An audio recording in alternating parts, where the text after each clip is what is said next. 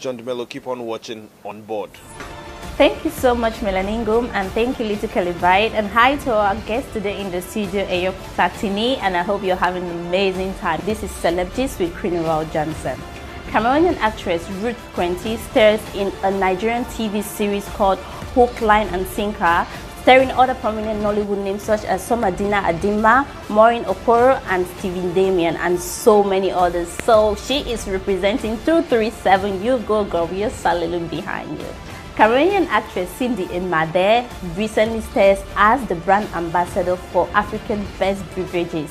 Can we just say this girl is just all about, you know, getting it this year? Like, she is on all movie sets and she's like everywhere. And now, and this gig, sister girl, you're really doing it. This 2018 is really your year. So we wish you all the best in your endeavors and keep doing what you do. Black Panther star Michael B. Jordan beat Thanos this year as the best villain at the MTV Movie and TV Awards. So we are so much proud of you guys. Like Black Panther has been like best and the most epic movie this year in the history of the black race. So we are really, really, really happy for you, Michael B. Jordan. You keep doing your thing and keep getting the hours for the black population.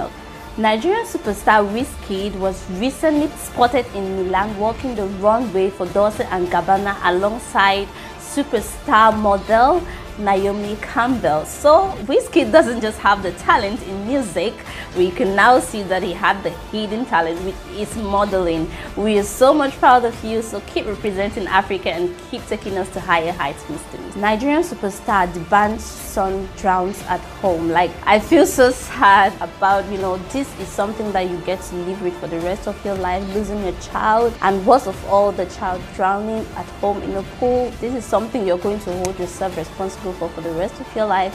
So my heart goes out to you, D'banj. I hope you're holding on well and you know, nothing comes to a man that is more than that man. God knows best.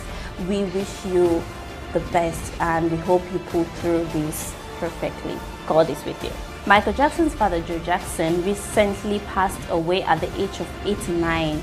We wish nothing to the family than, you know, condolences and our heartfelt sympathy towards this tragic event and we hope that they will hold through this very well and just take heart okay? So guys we've come to the end of the gist star gist with queen Johnson and until next time i am queen Johnson and you are watching on board